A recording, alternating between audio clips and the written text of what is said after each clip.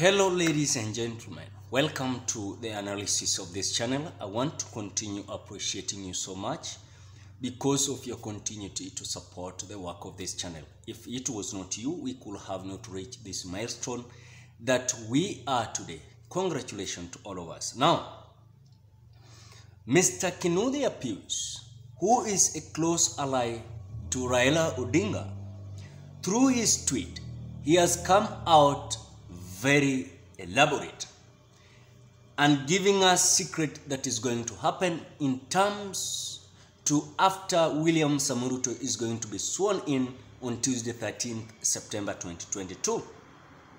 And this is what uh, William Ruto, uh, and this is what Mr. Kinuthia Pius has revealed to Kenyans according to the plan that is underway. By the way, before we read this tweet, I'm requesting with a humble heart.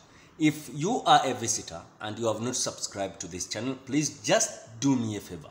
Ensure that you subscribe to this channel.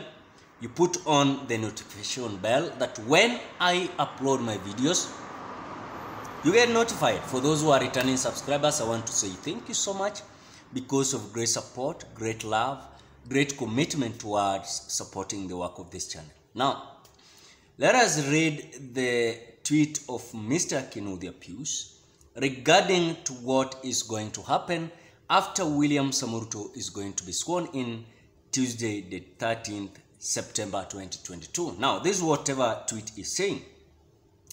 William Ruto is considering appointing two CASs per ministry to accommodate the so many people in Kenya Kwanza in need of government jobs. I think in terms to what we should expect is not according to the revelation that Pius, Mr. Pius Kinuthia is coming out with. Because I remember very well, uh, literally in terms to whatever William Samoei Ruto believed in, he fought this issue of BBI so much. And so-called main issue why William Samoei Ruto fought this BBI was that there were certain individuals that were creating seats in the government. Number two, I remember very well William Samoei Ruto sending his certain co-lawyers to court to challenge this called CAS, CASs that Uhuru Kenyatta appointed. In fact, in terms to court ruling, it was said that these CAS are occupying offices not in accordance to the Constitution of the Republic of Kenya.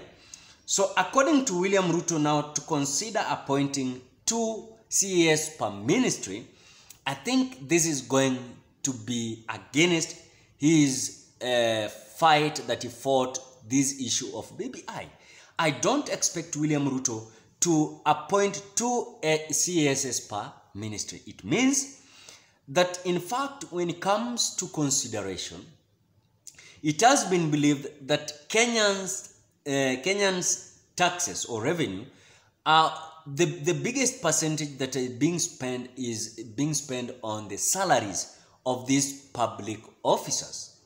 So to me, the reason why I should not support this is because one, the biggest percentage of revenue or the, the bigger percentage of uh, resources is being moved to this salary of member of parliament, senators, member of uh, National Assembly, senators, president, deputy president, cabinet secretaries, certain parastatals, and all those forth and on like that. But I want to say it very clear. William Samoei Ruto himself came out to defend that the constitution doesn't require that we have CSS, even one. So for him to come again to add one, another one to come two, it means that William Ruto was lying to Kenyans live alive. Because the expectation is William Samoei Ruto to uh, get rid of CSS according to the way he sent certain lawyers to, uh, to, to, uh, to challenge the decision of Uhuru Kenyatta to bring this CSS, then for him to add another CS to come to and be appointed to one ministry is going against his uh, uh, agenda and ideology.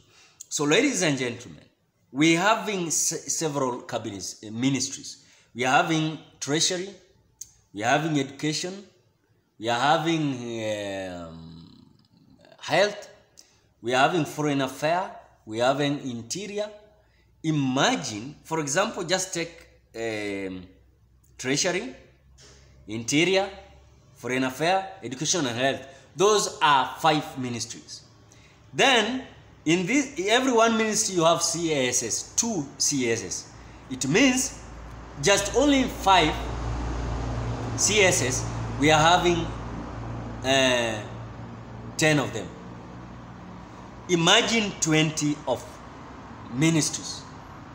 We are going to have uh, 40.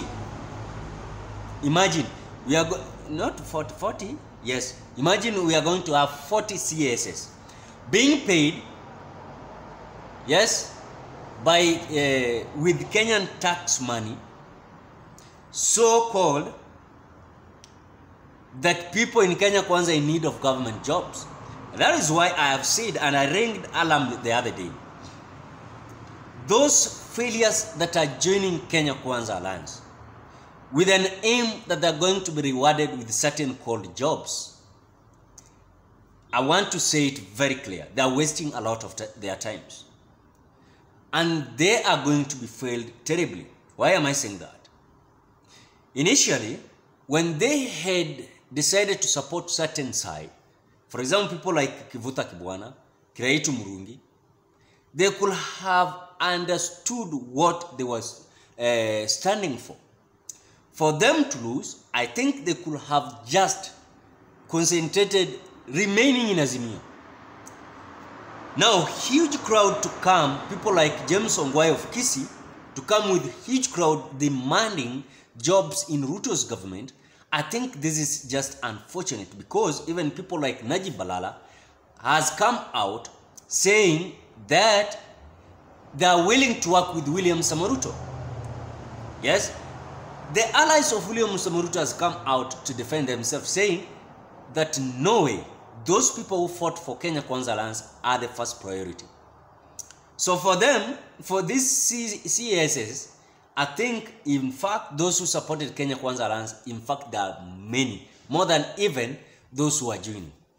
So ladies and gentlemen, are you supporting the idea of creating every ministry to CSS? Drop your opinion at the comment section below. Otherwise, thank you so much because of great support. If you're a visitor, please do me a favor, ensure that you subscribe to this channel.